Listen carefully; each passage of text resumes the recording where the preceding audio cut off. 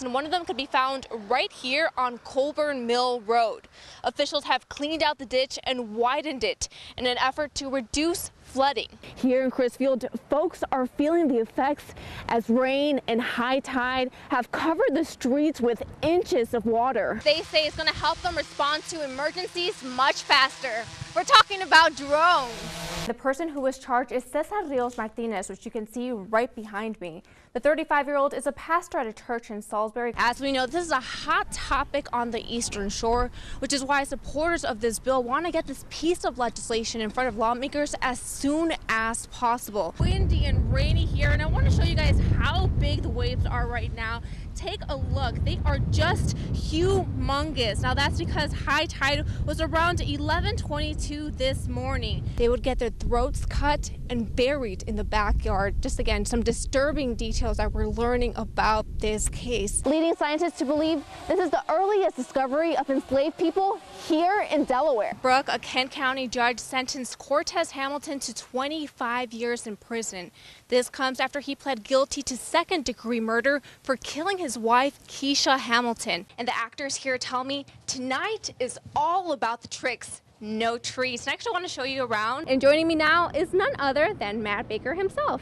Hi, Matt. How are you? How are you? This is the mouth I juggle with. Yes, it is. Water damage. If you take a look above me, contractors have started removing ceiling tiles and salvage what's left of this roof. Now, we've also heard that there are some slick spots on the road, so just be extra careful if you plan on traveling today. And just to show you that the tips actually paid off, look at what I won. Okay, this unicorn there, I see that. Now, does it, does it have a name? Fluffy. To help veterans with everyday things such as turning on a light switch. Nigel, light. Good boy.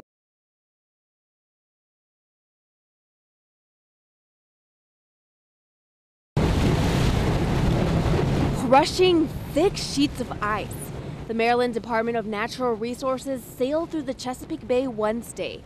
There are 100 foot boats specially designed to cut through layers of ice the boats our, are ice-breaking vessels, uh, are what you call shallow draft, so that they can go into the uh, the uh, smaller waterways and clear these uh, clear these paths. Clearing pathways to travel to and from Smith Island. It's a lifeline to keep these channels clear so that supply boats, ferries, mail boats can can go back and forth. Captains are constantly monitoring weather and water conditions to determine when to sail.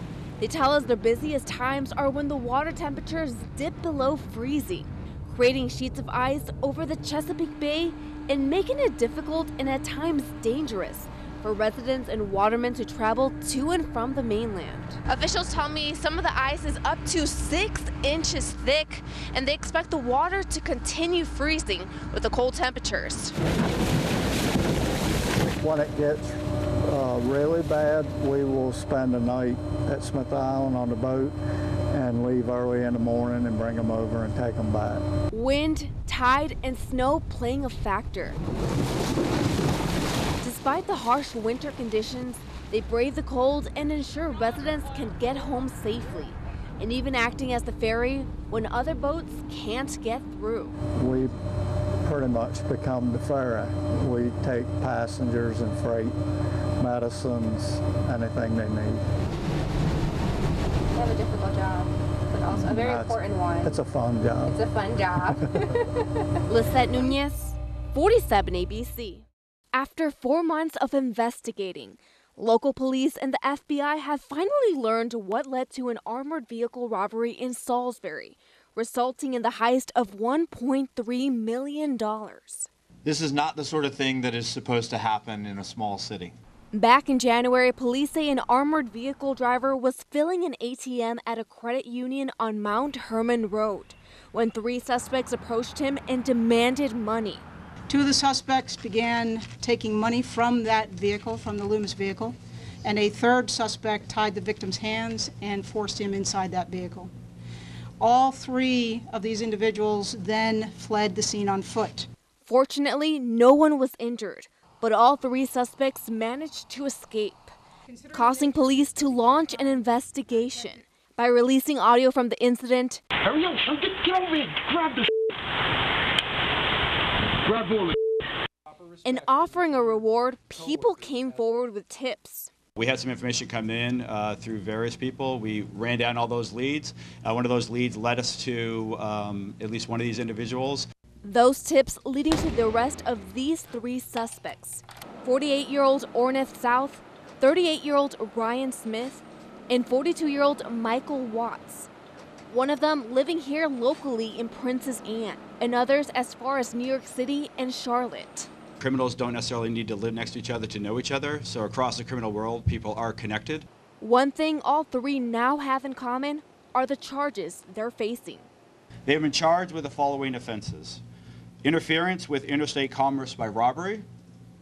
Second, use, carry, brandish of a firearm during the, the relation to a crime of violence.